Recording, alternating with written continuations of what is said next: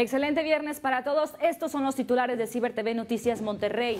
Así como lo dimos a conocer primero aquí en Ciber TV, encontraron el cuerpo sin vida de una mujer en un cateo realizado en la colonia ex Hacienda Santa Rosa, esto en Apodaca. Las autoridades esperan la identificación ya que podría tratarse de María Fernanda. Y sin vacunas y sin venta de bebidas alcohólicas, es así como se vivirá el primer fin de semana de vacaciones de Semana Santa y todo por el ejercicio de consulta ciudadana de la revocación de mandato. Y los que ya se preparan son las autoridades en todos los niveles de gobierno para arrancar los operativos por el periodo vacacional de Semana Santa. Eso sí, insisten en que no bajemos la guardia ante la posibilidad de contagio de COVID-19. Además, aún no muere, sigue viva la reforma energética de Andrés Manuel López Obrador. La Suprema Corte le dio su aval, ahora hay que esperar a que se resuelvan los juicios de amparo que interpusieron varias empresas y 40 muertos. Ese es el saldo que dejó uno de los últimos ataques de Rusia a Ucrania. Bombardearon también una estación de tren. Esto a pesar de la presión internacional encabezada por los Estados Unidos. Y bien, vamos a ver ahora un avance en los deportes con Rafa Martínez. Nayeli, buenos días, gusto saludarte. Bueno, pues malas noticias para ti, porque sé que eres tigre. Los tigres perdieron el día de ayer ante los Tuzos del Pachuca, dejaron ir la oportunidad de seguir de líderes. Tenemos todos los detalles. Bueno, muchas gracias, Rafa. Ya queremos saber estos detalles que veremos en los espectáculos con Poncho Pérez. Nayeli, ¿qué tal? ¿Cómo estás? Saludo con mucho gusto en esta mañana. Hoy en los espectáculos, Ángela Aguilar explota después de que se difundieron unas fotografías de ella estrenando un romance. Más adelante le tengo los detalles en los espectáculos. Gracias, Poncho. Y ahora vamos a ver un avance del pronóstico del tiempo con Julie Castillo.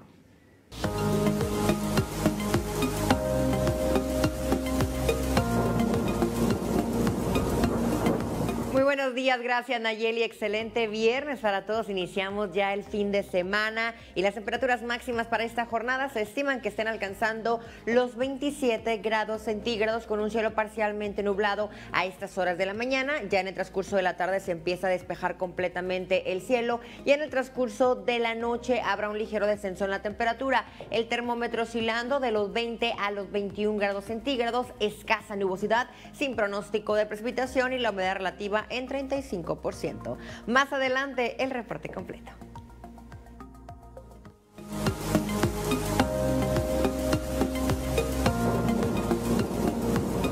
Gracias, Julie. Ya a esta hora de la mañana vamos a enlazarnos rápidamente con nuestro compañero Marcial Pasarón. Él tiene toda la seguridad en el estado.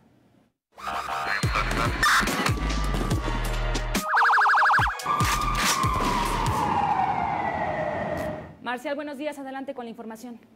Hola Nayeli, ¿qué tal? Muy buenos días. Buenos días a todo el auditorio de Ciber TV. Bueno, vamos a darte a conocer la información de lo que se ha generado en las últimas horas. Como lo informamos, lo informamos el día de ayer, allá en el municipio de Apodaca, durante un cateo que fue realizado por personal de la Agencia Estatal de Investigaciones, también agentes de la Fiscalía Antisecuestros, bueno, localizaron el cuerpo de una mujer sin vida en el interior de una casa. Estos hechos eh, provocaron también la movilización de policías, de servicios periciales hasta este punto. También la Fiscalía Estatal, bueno, presume que podría tratarse del cuerpo de María Fernanda, quien se encuentra desaparecida desde el pasado domingo, cuando su familia pues solicitó a la Fiscalía eh, que emitiera una, eh, bueno, un boletín de búsqueda para poder localizar a María Fernanda. Sin embargo, te repito, hasta el momento todavía continúan las investigaciones. Este cateo ocurrió el día de ayer, alrededor, empezó alrededor de las 8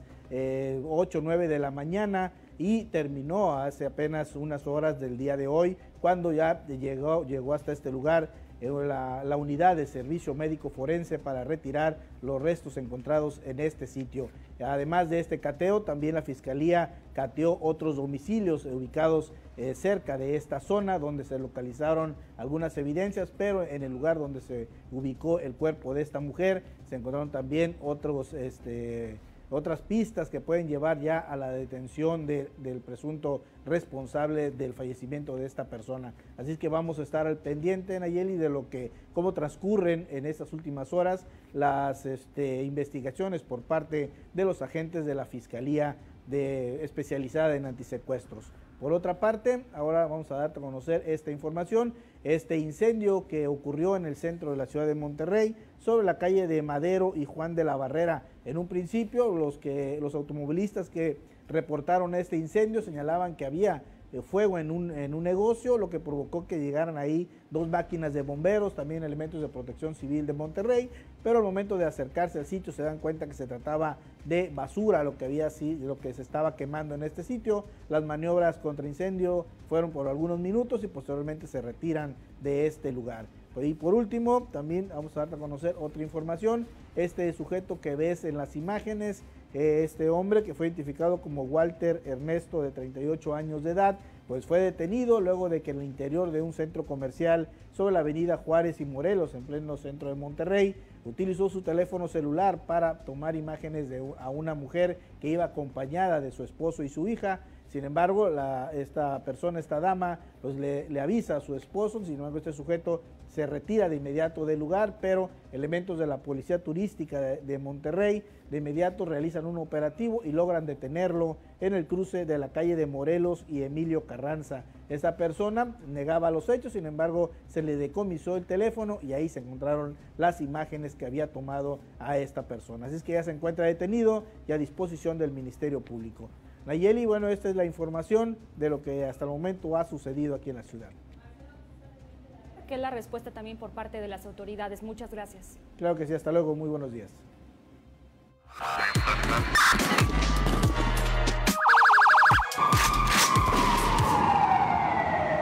Y seguimos con las notas locales y es que en Nuevo León la ola de inseguridad prevalece. A la fecha 16 mujeres continúan sin ser ubicadas y la inacción de las autoridades incrementa la molestia de las familiares de las víctimas. Vamos a ver lo siguiente.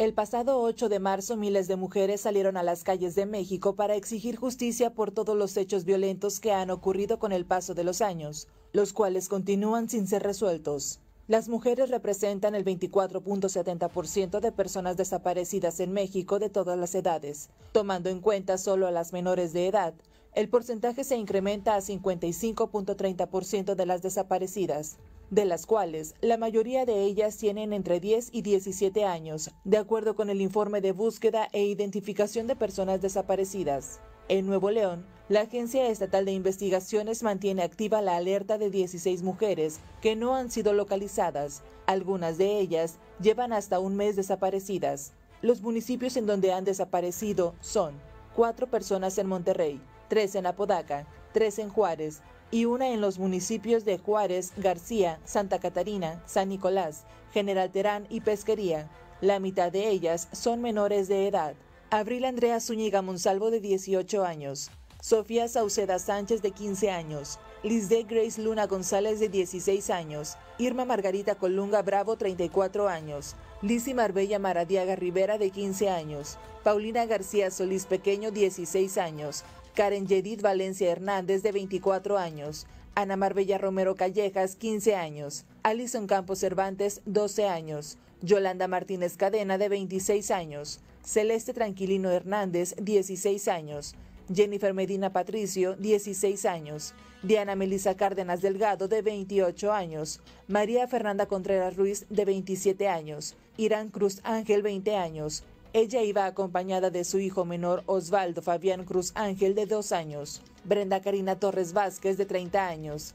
Ella también iba acompañada de sus dos hijos, Rodrigo y Luna de 10 y 4 años respectivamente. Pese a la inacción de las autoridades, los familiares, amigos y conocidos mantienen la búsqueda de sus seres queridos. Para brindar información que ayude a su localización, favor de comunicarse a los teléfonos 81 20 20 5700 y el 81 20 20 4411. Para Ciber TV Noticias Monterrey, Salma Lee.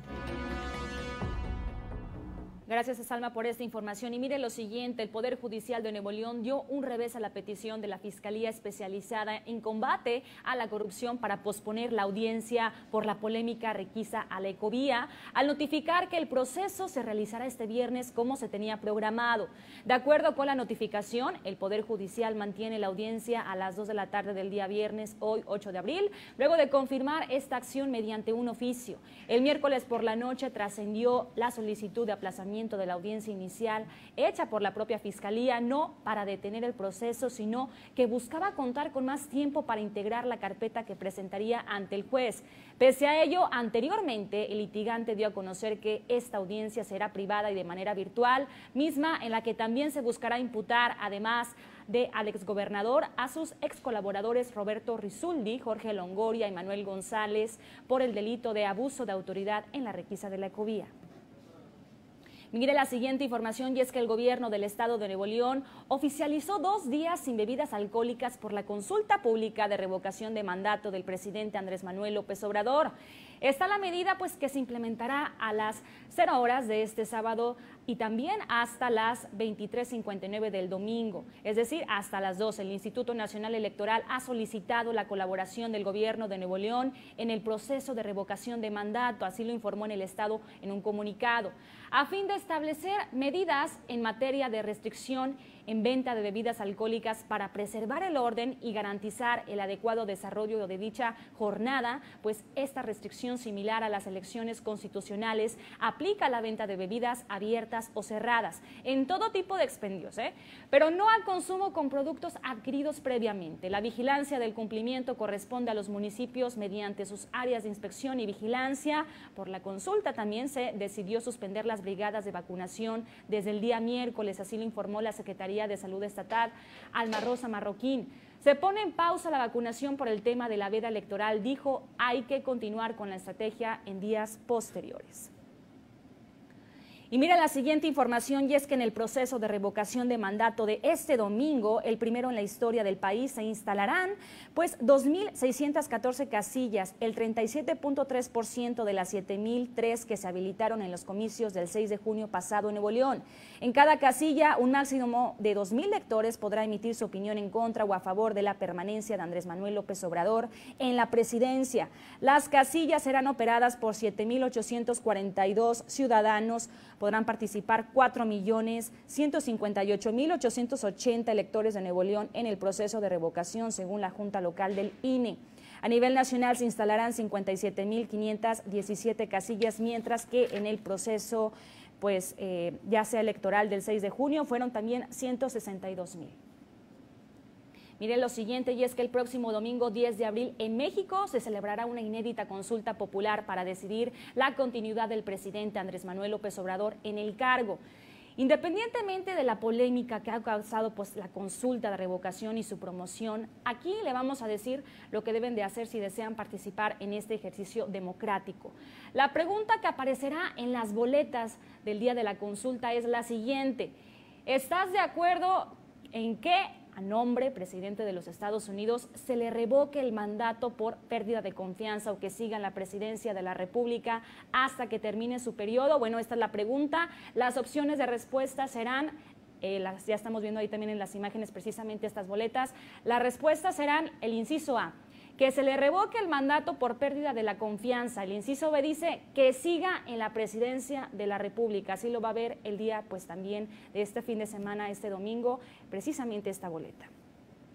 Y vamos a más información y es que previo a las vacaciones de Semana Santa, elementos de Fuerza Civil ya están preparados para arrancar con el operativo de seguridad. Y es que desde este jueves se pueden observar un grupo de patrullas instaladas en la explanada de los héroes. Lo que ha llamado la atención y pues obviamente ha preocupado a los transeúntes que pasan por el Palacio de Gobierno. Al momento hay 50 patrullas ya colocadas, las cuales de acuerdo con el Departamento de Comunicación Social de la Secretaría de Seguridad Pública estarán participando ya en el arranque del operativo de Semana Santa que está encabezado también por el gobierno del estado. Y mire, desde el pasado 25 de marzo, brigadistas y autoridades de distintos niveles de gobierno se encuentran trabajando para sofocar el incendio en la Sierra de Santiago, que al momento ha afectado a 3.000 hectáreas, lamentablemente. Conforme pues, ha avanzado el incendio, se sumaron aeronaves para atacarlo desde puntos de difícil acceso para brigadistas. El pasado lunes 4 de abril, el avión DC-10 Air Tank llegó a Nuevo León para realizar descargas con líquido retardante. Debido a que el incendio se ha salido después de control, familias han sido también desalojadas de zonas como Potrero Redondo y de Puerto La Camotera. El Estado, a través de titular de la Secretaría de Medio Ambiente, Alfonso Martínez, interpuso una denuncia penal ante la Fiscalía General de la República por el incendio que se originó presuntamente por un acto humano. Martínez señaló que las personas que resulten responsables por el incendio forestal podrían ir a la cárcel y recordó la modificación del decreto que establece zonas de veda para el uso de fuego. Y mire, al considerar que pues no ha tenido pues una eficiencia adecuada y que le generaría un impacto negativo, diversas cámaras empresariales en Nuevo León manifestaron su rechazo al aumento en las tarifas industriales y comerciales de agua por hasta un 91%, por lo que buscarían se revierta. El presidente de la Cámara Nacional de Comercio de Monterrey, la Canaco, Javier Arteaga, bueno, junto a representantes de la CAINTRA y la CANIRAC, y de la Asociación de Hoteles, pues señalaron que buscarán que antes llegue obviamente el recibo de abril y se pueda llegar a un acuerdo con el gobierno estatal. Durante una rueda de prensa, el líder empresarial reiteró que con la aplicación de un 10% de aumento es suficiente para lograr reunir la cantidad que se requiere para invertir en nuevos sistemas para traer el vital líquido a Nuevo León. Asimismo, pues criticó que antes de subirle los cobros, Agua y Drenaje de Monterrey debería primero ser más eficiente en el cobro a los adeudos que mantienen tanto el gobierno estatal como los municipios. Y miren, nosotros vamos ahora con nuestra compañera Julie Castillo. Ya va a hablar acerca de todo lo que nos corresponde referente al pronóstico del tiempo.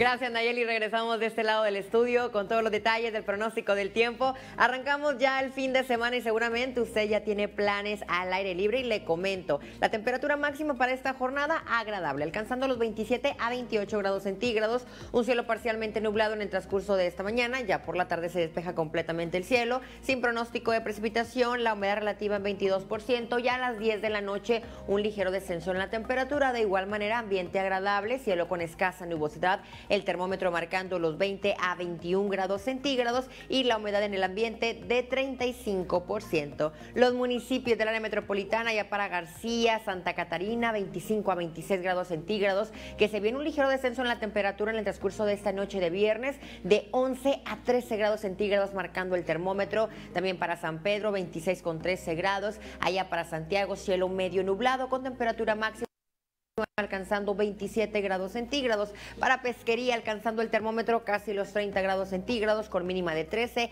En Apodaca, en Guadalupe, máximas de 26 a 27 grados. Las mínimas se mantienen en 13 grados centígrados. Allá para Juárez y también para Cadereyta la temperatura máxima alcanzando 28 grados centígrados con mínima de 12 a 13 grados centígrados. El índice de radiación solar hasta el momento se encuentra nuevamente en nivel 11. Esto quiere decir extremo. Así que a seguirnos cuidando, a seguirnos hidratando y también cargar con algún bloqueador solar para que se lo aplique si usted va a salir de casa de 12 a 4 de la tarde. Para el día de mañana sábado, amaneciendo con temperatura agradable, 19 a 20 grados centígrados. Por la tarde nuevamente el termómetro estaría alcanzando 30 grados, un cielo medio nublado. Esta misma nubosidad va a continuar para el día domingo. Es bastante baja la probabilidad de precipitación. La temperatura máxima alcanzando 34 grados centígrados con mínima de 19 y la próxima semana continuará el ambiente caluroso, alcanzando 37 grados centígrados para el día lunes con mínima de 20, el día martes 37 con 21 grados centígrados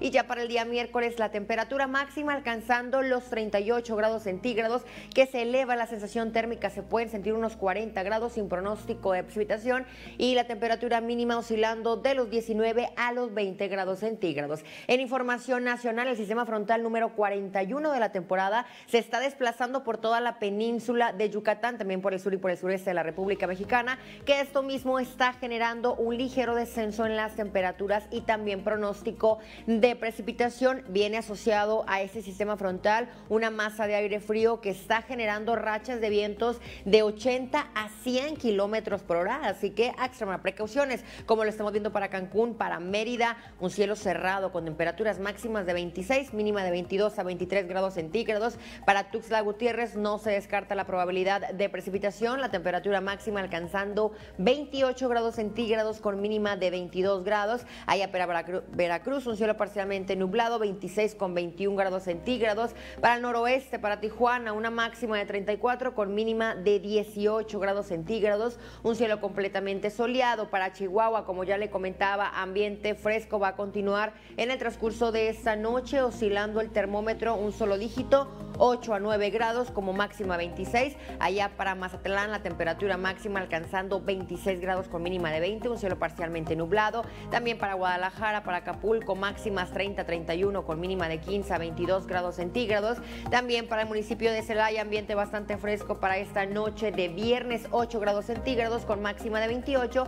En Reynosa, en Torreón las máximas de 27 con mínimas de 12 a 14 grados centígrados. Allá para el territorio tejano, para El Paso 23 con 9 grados y en en la máxima de 29 con mínima de 13 grados centígrados. Ya por último le comento que para este viernes la puesta de sol sería a las 20 horas y la salida a las 7 con 25 minutos. Hasta aquí el reporte del pronóstico del tiempo. Que siga teniendo usted un excelente fin de semana.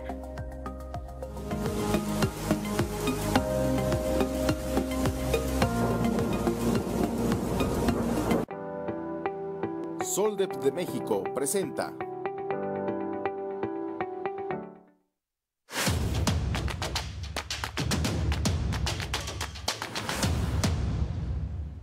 Bien, ahora pasamos a la sección nacional y es que el presidente Andrés Manuel López Obrador señaló esta mañana en su tradicional conferencia de prensa mañanera que la resolución de la Suprema Corte de Justicia de la Nación respecto a la validez de la ley eléctrica es histórica y patriota. Estoy muy contento, fue una muy buena decisión que demuestra que hay un auténtico Estado de Derecho porque no fueron todos los ministros los que votaron a favor. Aseguró que pues no quería hablar mucho antes de que la Corte resolviera el asunto porque sabíamos la trascendencia y lo que le interesa al grupo que estaba pues abusando también del marco legal que se construyó durante el periodo neoliberal para destruir a la CFE y lucrar. Se reparó el daño, se protegió a la gente para que en el futuro no haya abusos en el precio de la luz. Estoy muy contento, reiteró. El mandatario insistió en que antes pues no se consideraba a las hidroeléctricas como generadoras de energía limpia. En el periodo neoliberal se decía que las únicas energías limpias eran la solar y las de iniciativa propia.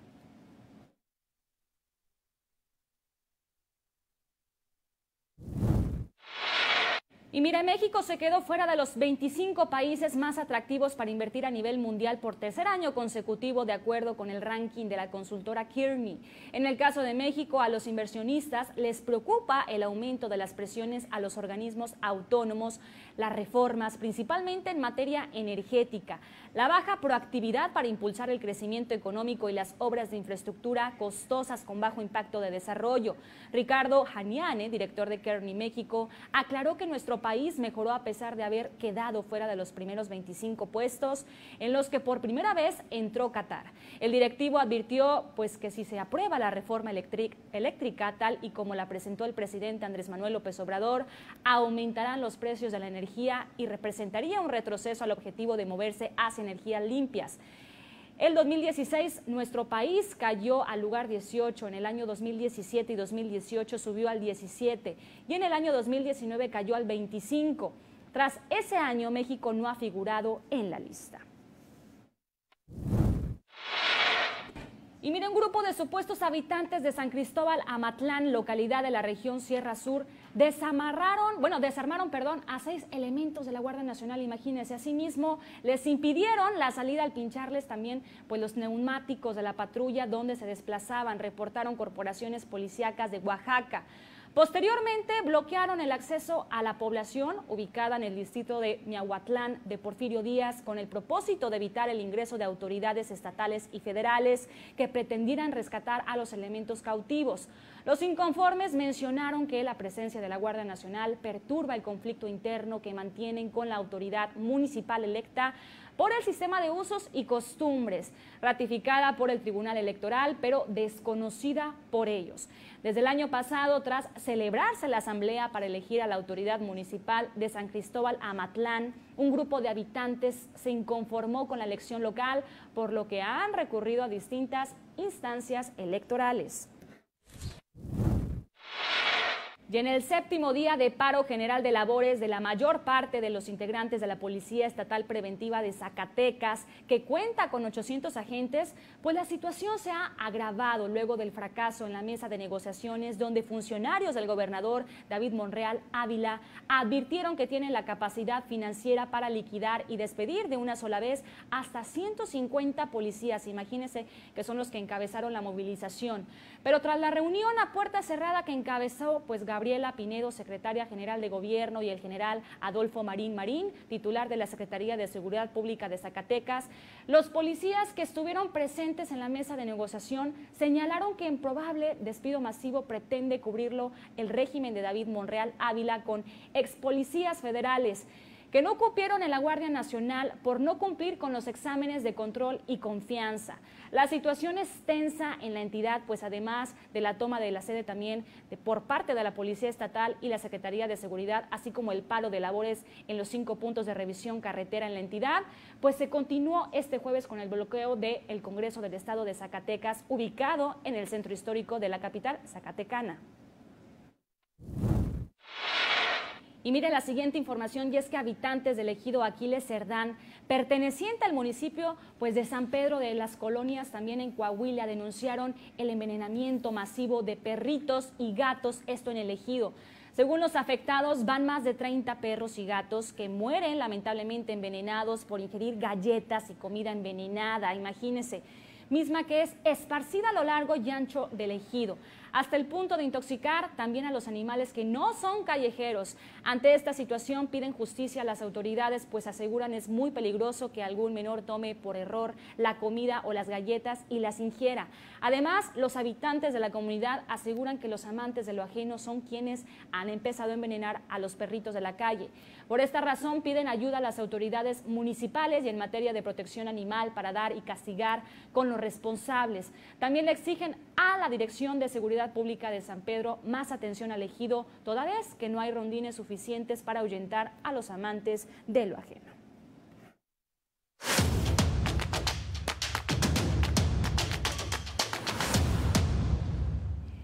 Bueno, estamos en vivo, son precisamente las 10 de la mañana con 31 minutos y a esta hora vamos pues precisamente a darle las gracias a toda la gente que nos está sintonizando y vamos a dar lectura ya a algunos comentarios, saludos, como lo son Lidia Alejandra García, buenos días a todo el equipo de Ciber TV, Lidia, muchas gracias por sintonizarnos, Adriana Verástegui, muy buenos días, Alfonso Martínez Martínez, él también es un fan muy destacado, todos los días comenta, muchas gracias, Alfonso, David, ahora dónde estás, David, anteriormente estabas en Alemania, en Ucrania, ahora desde dónde nos escribe. Saludos para ti. Rosario García, saludos, muy buenos días. Polo Villarreal, ya llegué, todos bien, saludos a todo el equipo, todo bien hasta ahorita. Muchas gracias, Polo. Y sigan también compartiendo y obviamente pues dándole me gusta a esta publicación, esta transmisión en vivo, que tenemos muchas noticias para ustedes. Nosotros ahora vamos a una farsa comercial. ¿Quieres que tu publicidad se vea y se escuche así? La que organizó Bud Light para dar inicio al norteño Summer House en la Sultana. Orgánicos. El concepto de cocina de crianza que maneja el restaurante.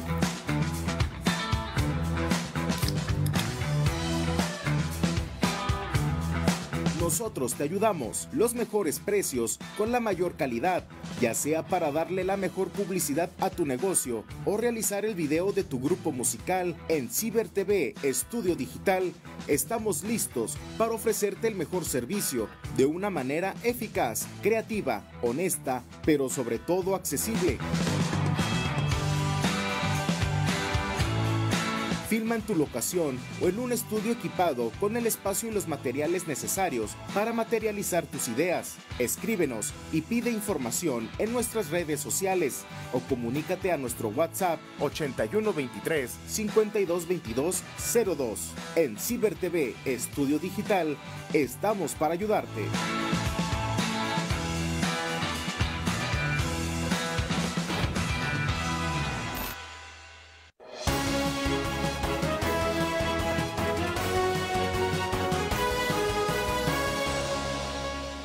Vamos rápidamente a lo que está pasando internacionalmente en el mundo. Dos personas resultaron muertas y una decena heridas este jueves en un tiroteo en el centro de la ciudad israelí de Tel Aviv. Atacante sigue fugado y las fuerzas de seguridad piden a los ciudadanos que permanezcan encerrados en sus casas mientras prosiguen con las tareas de búsqueda y captura.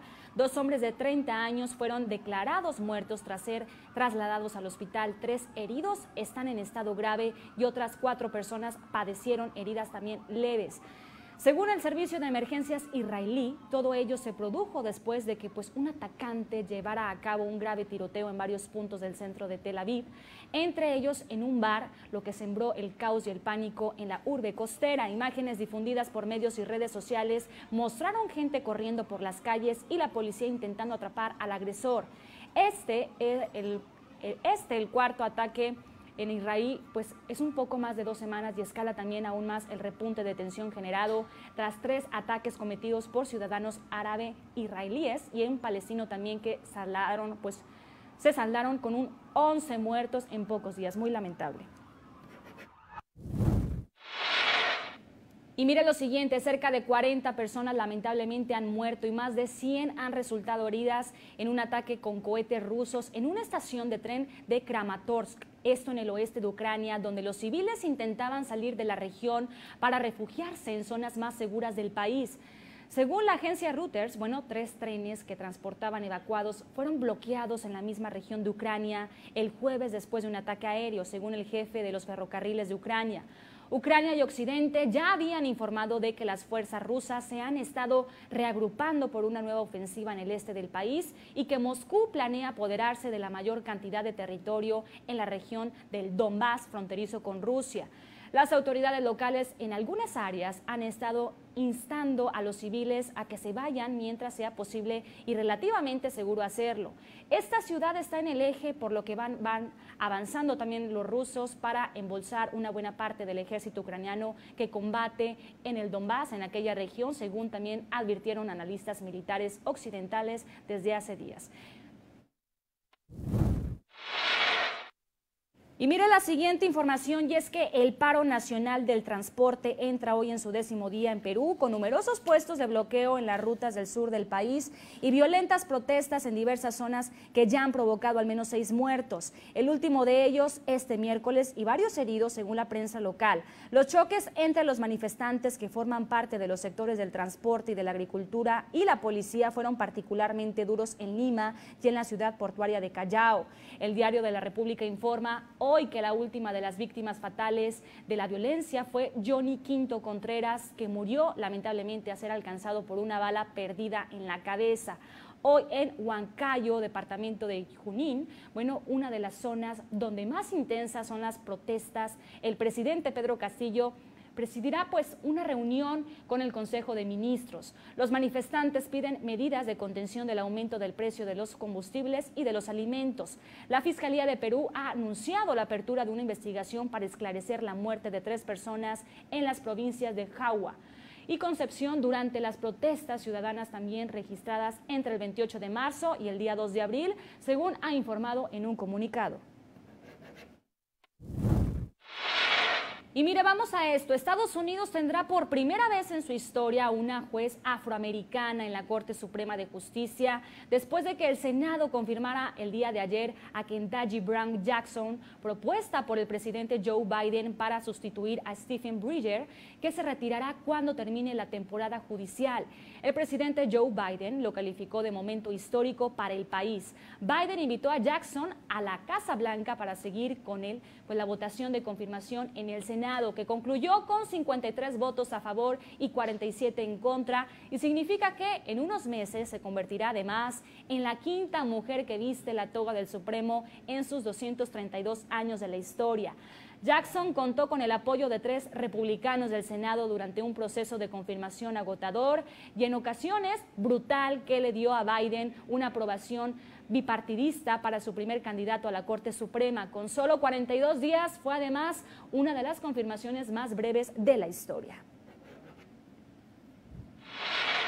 Y el Departamento Administrativo de Gestión de Riesgo de Desastres de Antioquia comunicó que hasta el momento son 12 muertos, 9 heridos y 2 desaparecidos. El saldo que deja la avenida torrencial presentada en la madrugada del 7 de abril es en eh, Abriaquí Occidente con Antioquía. Las fuertes lluvias generaron crecientes súbitas en la quebrada La Antigua y afectaron principalmente a trabajadores de la mina.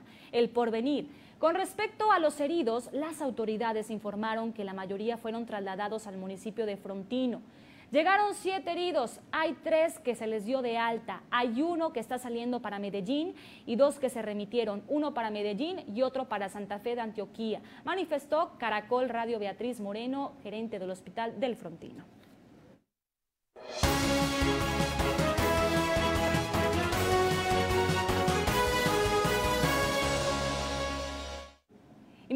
Con nuestra compañera Carla Mosigo ella nos va a hablar acerca de las tendencias.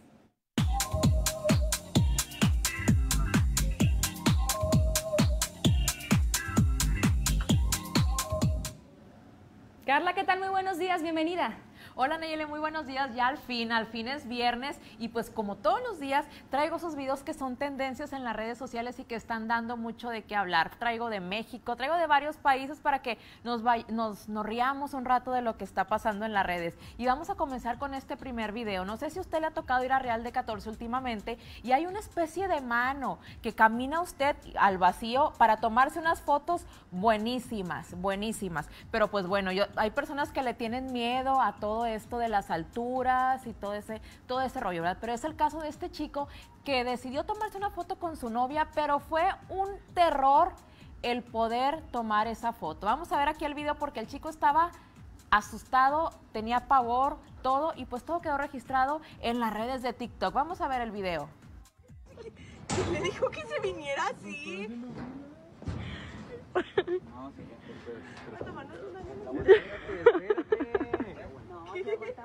es que se mueve bien feo. Así mero, ya, tómala, tómala. ¿Cómo que así? Hazte para un lado. No, me voy a agachar. ¡Ah! ¡Se está moviendo!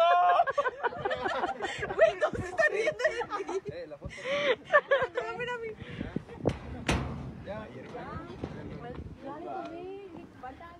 Pobre chico, se quedó aterrado, aterrado ahí para, para la foto. Y vamos a continuar con otro video que fue tomado en Estados Unidos que se viralizó porque no cabe duda que hay personas que tienen esa, esa facilidad de crear cosas y llamar la atención a, cualquier lado donde van, como es el caso de esta familia que mira el curioso carro que usted ve. No es un carro que usted y yo vemos con, eh, con frecuencia y este carrito pues es un carro de supermercado. Inclusive podemos ver en el video que hasta tiene su garrafón de, de leche, sus huevos y todo. Y pues pues así se hicieron virales en TikTok porque ellos andan por la ciudad de Missouri de un lado a otro con ese carrito eh, de supermercado gigante. Vamos a ver el video.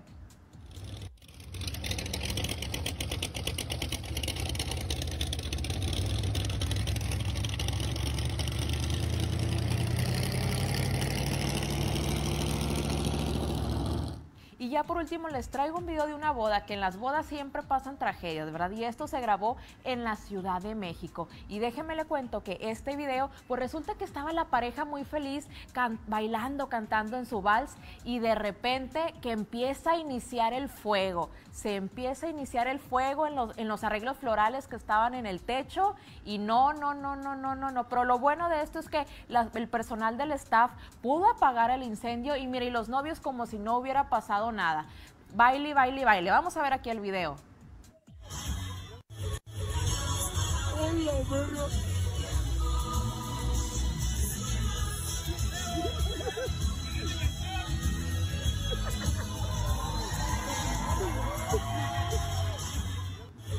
Y bueno, Nayeli, estos fueron los videos más virales de este viernes. Dime de este viernes, ¿qué piensas al respecto? No, pues todos están caóticos, Carla, la verdad sí. Creo que te esperaste un poquito a sacar todos en día viernes y dejarnos aquí con la icónica. Me llamó mucho la atención el de la mano, en Real de 14, ¿verdad? Así es, ahí en San Luis Potosí. Es un spot que se hizo muy famoso desde, tiene poco, tiene alrededor de un año más o menos, que la gente va y se toma fotos en ese lugar, pero al momento que tú caminas, pues la mano está sobre el aire, ¿verdad? Se, se, alcanza a ver todo abajo y pues hay gente que le tiene miedo a las alturas y que este sería, es un reto para esas personas. no, no, no, yo, yo, estaría así, la verdad, como el muchacho. Yo, la verdad, no. O sea, yo al momento de pisar ahí ya me hubiera desmayado, Carla. Mira qué valor realmente felicidades al gran joven porque de verdad hizo todo el esfuerzo por ser muy valiente, llegar hasta ese punto. La verdad lo reconozco porque yo no hubiera podido. Yo la verdad me quedé con ganas de ver la foto. A ver cómo, cómo salía el chico así Pues todo tapó asustado, a su novia, ¿no? A su pareja la tapó toda ahí con que no podía ni voltear. Así es, Nayeli. El pobre, pero bueno, Así. y también referente al de la boda estuvo también muy padre el video porque bueno, pues sí, porque ahí hubo ahí como un poquito más de acción, más dramatismo, se solucionó todo y es lo importante, ¿no? Al menos pues el fuego, las llamas, el amor, ¿no? Sí, sí, sí, fue el fuego La del amor lo que incendió la pista de baile. Tenían tanto amor esos novios que se prendió la pista de baile, pero lo bueno es que eh, alcanzaron a apagar el fuego. ¿Cuántos casos no hay de bodas que se incendian por el por lo que viene siendo la pirotecnia y se terminan saliendo del salón y se cancela la boda? Así que esto tuvieron suerte estos novios. A sacar lo positivo de todo. Muchas gracias. Carla. Así es, Nayeli. Nos vemos el próximo lunes y les quiero pasar mis redes sociales que me busquen como Carla Mosigo, eh, ya sea a través de Facebook, Instagram, YouTube, TikTok y me pasen sus videos para hacerlos virales. Nos vemos.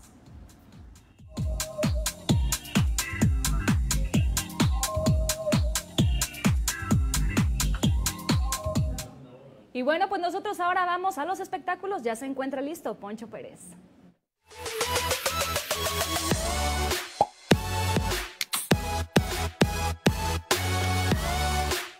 Información de los espectáculos en esta mañana de viernes. Gracias a Dios es viernes y nosotros más que felices y contentos porque cerramos semana y lo hacemos como siempre dando toda la información de lo que ocurre en el mundo del espectáculo. Hoy traemos mucho de la farándula y vamos a arrancar con alguien quien también ya cerró prácticamente su estancia en nuestro país, de quien hablamos, de los chicos de Coldplay, a quien estamos viendo justamente en la pantalla atrás de mí. Finalmente, ¿por qué decir? Porque la verdad es que incluso también mucha gente estuvo haciendo un trending topic que ahorita le vamos a mostrar. Primeramente, hablemos de que el día de ayer se llevó a cabo el último de los ocho conciertos que sí parecieron eternos para muchos de la banda británica que de verdad nos dejan tremendo sabor de boca, dejan la vara en lo más alto para cualquier otro concierto de talla internacional que venga. Y bueno, por supuesto, nos dejan ya con las ganas de que regresen pronto y disfrutar una vez más de uno de los mejores conciertos que todos los miles, miles de fanáticos que estuvimos en alguna de estas presentaciones disfrutamos y que de verdad lo decimos una y otra vez, nos mostraron o nos hicieron disfrutar del mejor concierto de nuestras vidas y no lo digo exagerando, sino todo todo lo contrario. Bueno, pues estamos viendo justamente parte de estas imágenes que se vivieron el día de ayer. Subieron a otra chica a cantarle uno de los temas, esa eh, joven que veíamos hace unos minutos en, la pantalla, que seguro no durmió por esa emoción de estar frente a Chris Martin, quien le cantó, pues así, frentecito, a menos de un metro. Ahí está, mira nada más. Ella no se lo imaginó, llegó al concierto, fue seleccionada y Chris Martin le cantó un poco. Vean nada más la cara de emoción de esta joven, así como muchos otros lo vivieron,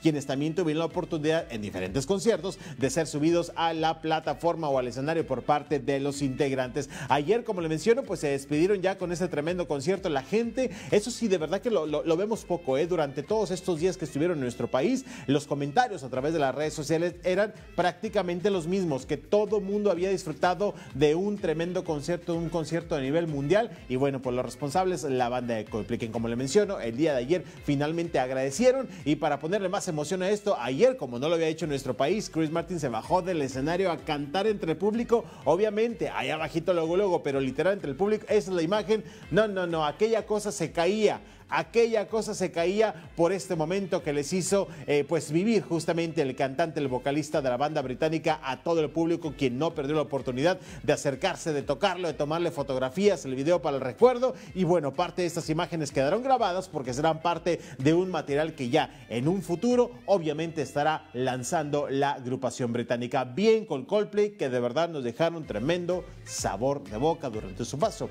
por nuestro país. Y hablando justamente de ellos, ayer se hacía este trending topic de que para muchas personas pensaban, bueno, se sentía que Coldplay ya tenía semanas y semanas y semanas, meses. A mucha gente se le hizo pues eterna la estancia de la agrupación y no es queja. Simple y sencillamente que ayer se hizo pues, eh, sí, este trending topic de menciones o mensajes como este. Los de Coldplay ya llevan tanto tiempo en México que ya tienen a un perro con playera del Cruz Azul en la azotea del edificio donde se hospedan. ¿Qué más había justamente en redes sociales? Los de Coldplay ya llevan tanto tiempo en México que ya piden la renuncia del Tata Martino y al Chicharito para la selección mexicana. Así como estos mensajes, de verdad había una lluvia ayer en la plataforma de Twitter. Los de Coldplay llevan tanto tiempo en México que en la puerta donde se hospedan ya pusieron respeto en mi entrada y yo respeto su coche. Los de Coldplay llevan tanto tiempo en México que en la puerta donde se hospedan ya pusieron se visten niños dioses de verdad. Es que había muchos, muchos mensajes. Eh, otro más, los de Coldplay llevan tanto en México que ya en la mañanera. Bueno, así como estos, era una lluvia de mensajes bastante divertidos. Los de Coldplay llevan tanto en México que ya debaten entre ellos si la quesadilla lleva queso o no. Un tema de verdad de debate en los extranjeros. Los de Coldplay llevan tanto tiempo en México que ya odian a Alfredo Adame. Bueno, no terminaríamos porque de verdad es que sí fueron todos estos mensajes que ayer, como le menciono, se hicieron trending topic en las redes sociales. Hoy por la mañana amanecíamos con más. Ya tienen citatorios por parte del SAT invitándolos a realizar sus declaraciones. Sí, Chris Martin ya sabe que en el Oxxo no hay sistema. Divertidos, la verdad, y bastante llenos de ingenio porque ya saben que para algo eso se nos da muy bien a los mexicanos. Bueno, más estamos viendo muchos, muchos más mensajes que salieron justamente de este training el día de ayer. Pues bueno, ya prácticamente estaban despidiendo a Colpe. Esos de Colpe ya están a nada de ser invitados de lujo. Algún partido de la selección mexicana llevan tanto tiempo en México que ya también odian a Carla Panini, ¿no? Si le digo que de verdad el ingenio de los mexicanos para este tipo de cosas, bueno, nos llevamos la medalla de oro, ¿no? Pero bueno, ahí están justamente bastante divertidos. Si usted quiere leer más, métase a Twitter, ponga solamente eh, pues Coldplay y créame que le va a aparecer muchos mensajes de este tipo. Bueno,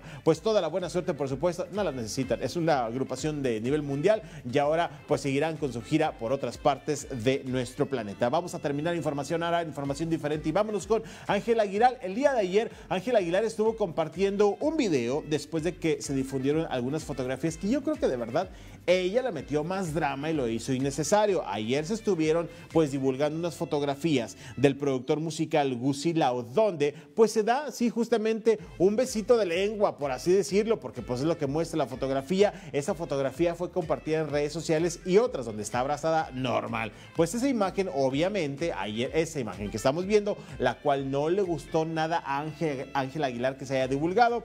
Después de ello, pues hizo un video donde dice que se siente violentada porque se compartió una imagen que ella no le hubiera gustado, que se compartía en redes sociales y así lo dijo. Triste, defraudada, no, puedo creer que estoy haciendo este video. Me duele el alma. Han estado circulando unas fotos con las que yo no he estado de acuerdo que salieran. Me siento violentada, me siento de la posibilidad de yo tener mi propia privacidad y yo poder decidir sobre mi vida, mi cuerpo, mi imagen. Em, me duele haber confiar en, que en, una persona que yo no debí confiar. Me duele haber sido defraudada por, por una persona que yo, la verdad, nunca en mi vida pensé. Me duele trabajar tanto desde tan chiquita para que una cosa así lo afecte tanto. Porque esto no solamente es una imagen que ha estado circulando, esto también es algo que ha estado afectándome como profesional. Me ha afectado económicamente, me ha afectado en mi vida personal, amorosa ni se diga, con mi familia. Bueno, está justamente parte de este mensaje que dura seis minutos, el, cual, fue compartido a través de su cuenta de Instagram. Sí creemos que le echó mucho drama. ¿Por qué? Porque lo que hizo es que puso en foco todavía más esta situación. Lo hubiera dejado pasar por alto. Y miren, la verdad, todo el mundo hubiera dicho, ah, pues ya trae novio, anda con un galán, se dieron un besillo y nah, ya sería todo. Pero no, hizo este video, lo cual, como le menciono, pues hizo que obviamente esto generara un poco más, eh, pues todo este drama que en redes sociales sí le ponían. Creo que le metió, pues este, ahora sí que crema además, pero bueno, pues ahí las opiniones del público y también así la opinión de Ángel Aguilar ante estas fotografías, fotografías que ayer se divulgaron en las redes sociales. Esa es la información de los espectáculos. Que tenga un excelente fin de semana.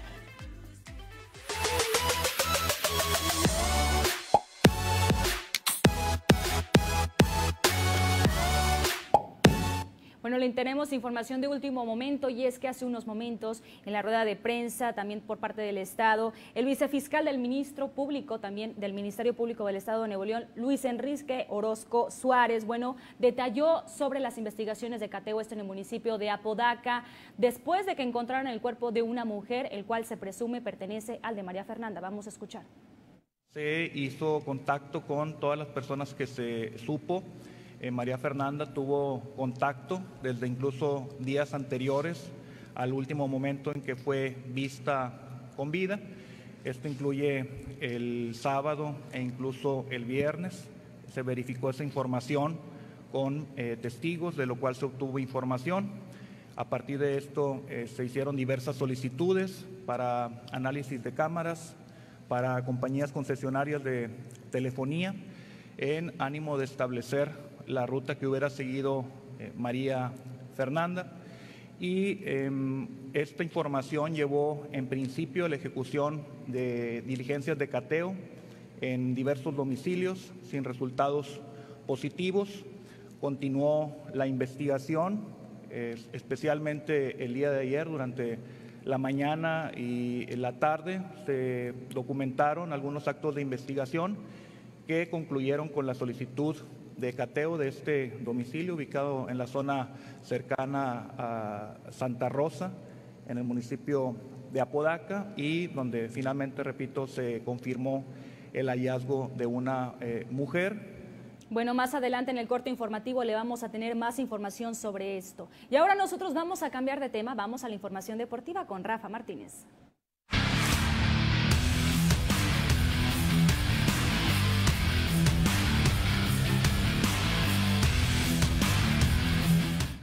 Rafa, ¿qué tal? Muy buenos días, ¿cómo estás? Bienvenido. ¿Qué tal, Nayeli? Gusto saludarte. Listos con todos los detalles de los deportes. Viernes, fin de semana, se siente el ambiente diferente y pues tus Tigres, Nayeli, pues ¿qué te puedo decir, hombre? También no, les fue bien contra el Pachuca, una prueba de fuego y la perdieron en la Bella Irosa de último minuto, dos goles de Víctor Guzmán y ahora pues ni modo, Nayeli, pues, eh, tranquilita, relaja. Su líder tranquilamente, pues no pasa nada. Y vendrán revanchas, vendrán revanchas, no te preocupes. Vienes de amarillo apoyando a tus Tigres, yo vengo de azul porque pues me dio la gana, nomás por eso. Y vámonos con lo que sucedió en la Bella Irosa, donde el equipo de Tigres pues no pudo contra el Pachuca y solamente le duró pues un par de días el gusto del liderato general y así el equipo de los felinos empataba el partido después de que el Pachuca había eh, adelantado en el marcador 1 por 0. Después Luis Quiñones, que está jugando un gran torneo, puso el empate para Tigres, pero este hombre, Víctor Guzmán, eh, dio un partidazo, marcó doblete eh, y con eso le dio el triunfo a los Tuzos del Pachuca sobre el equipo de Tigres para poder así Pachuca regresar al primer lugar de la clasificación general. Este partido que se jugó el día de ayer por la, se había pospuesto y ahora pues Tigres ya tiene este partido que se reprogramó con una derrota. Escuchemos a Miguel Herrera. No, bueno, sabíamos que iba a ser un partido difícil, iba a ser un partido complicado, pero bueno, pues hay que seguir trabajando. Hoy no tuvimos la contundencia que hubiéramos querido. Ellos hicieron un buen partido y a lo que sigue, a pensar en el siguiente partido.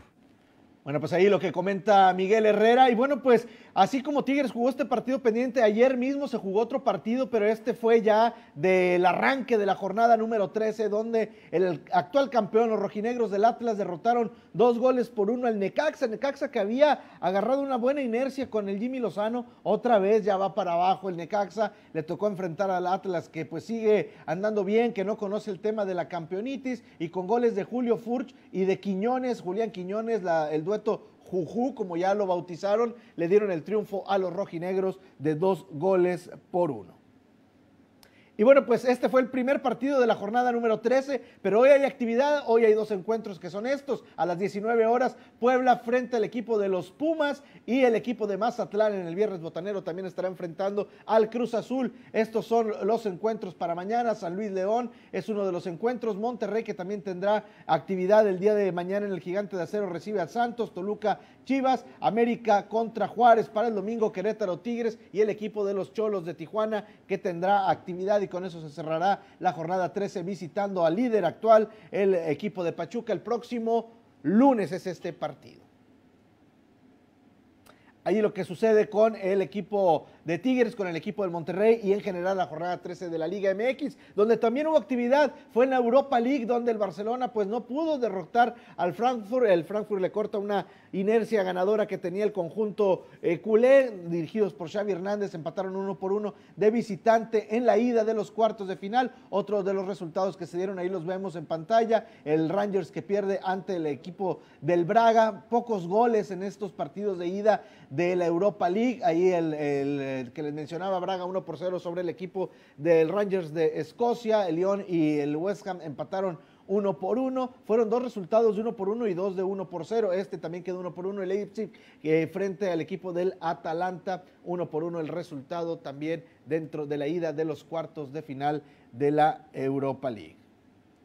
Y bueno, pues también lo que sucede dentro del Gran Premio de Australia, allá en Melbourne, se está corriendo en un horario pues que no es el habitual y es que pues ya se realizó la segunda prueba y el Gran Premio va a ser el domingo, sí, pero a las 12 del mediodía es prácticamente usted va a estar despierto el sábado y antes de irse a dormir eh, ya va a estar corriéndose el Gran Premio de Australia por la diferencia de horario, obviamente, donde el día de ayer Checo Pérez tuvo participación en el primer día de pruebas y terminó en tercer lugar. Hace unos instantes terminaron el segundo día de pruebas y pues ya no le fue tan bien a Checo, quedando en el quinto lugar. Verstappen agarró la cima en el primer lugar y pues los Ferrari siguen dando mucho de qué hablar con el, eh, Charles Leclerc que también se coló por ahí dentro de los primeros lugares. Y bueno, quien sorprendió el día de hoy fue Fernando Alonso con el Alpine, que le dio el cuarto lugar, poniéndose por encima de Checo Pérez. Y bueno, pues Nayeli, ya para despedir es viernes y ayer me reclamabas, oye, a mí me gusta despedir de una forma alegre. Y este la guardé porque ya tiene días esta imagen del día, pero dije, se la voy a guardar Nayeli para el viernes para que pues, se eche un taquito de ojo. ¿Conoces a, a Iván Rakitic, un exjugador del Barcelona que actualmente juega en el Sevilla? ¿Tú qué tan aficionada eres? ¿Alguna vez te has quedado con un souvenir de algún ídolo que tienes? Mira, fíjate, yo pisé el Camp Nou hace como 5 o 6 años. Entonces, del, del, Barça sí, más o menos sí me gustaba, pero cuando estaba Messi.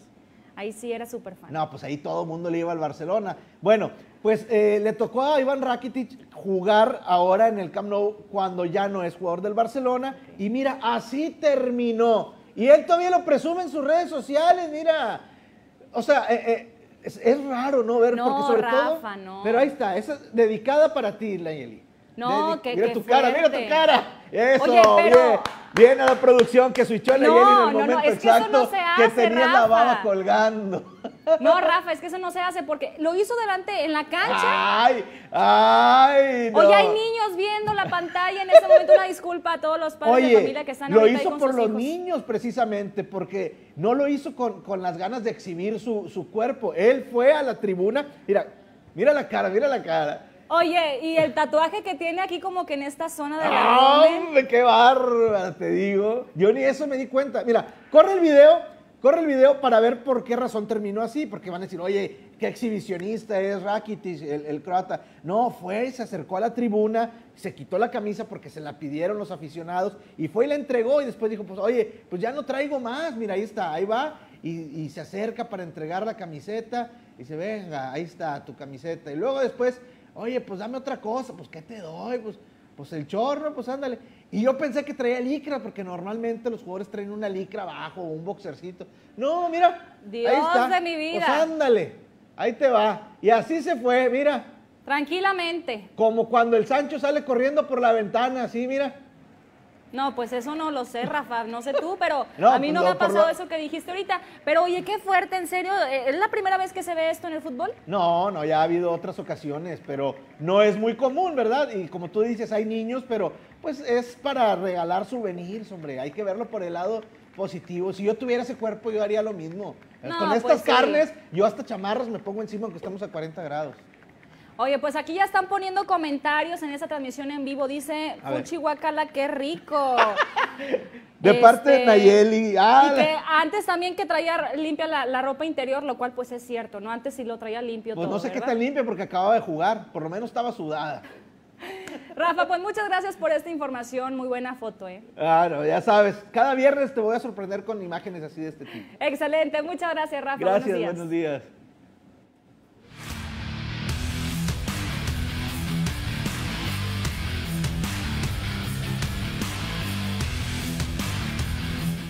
Y bueno, nosotros despedimos este noticiero siendo las 11 de la mañana con dos minutos, no sin antes recordarle que nos vea, pues obviamente en nuestro corte informativo de las 12 del mediodía.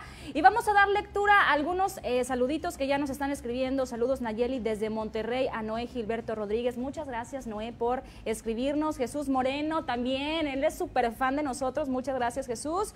Lola Garza nos comenta, buenos días, van a estar muy cambiantes las temperaturas, cuiden a sus mascotas, también mucha agua y no los dejen a la intemperie. Es muy cierto, Lola, hay que cuidar a nuestras mascotas. Polo Villarreal, ya habíamos leído los mensajes de él. Y Romy García, muchas gracias. Aquí están nuestras redes sociales, escríbanos, síganos aquí en portal web noticias, cibertv noticias monterrey.com, en Facebook slash cibertv, en Twitter cibertv noticia 1 en Instagram slash guion bajo cibertv y en TikTok arroba cibertv noticias. Ahí también pues escríbanos, estén pendientes obviamente de toda la comunicación directa con nosotros y de igual manera pues aquí mismo en las transmisiones en vivo. Nosotros nos despedimos con esta imagen de la avenida Constitución en el municipio de Monterrey. Muy buenos días.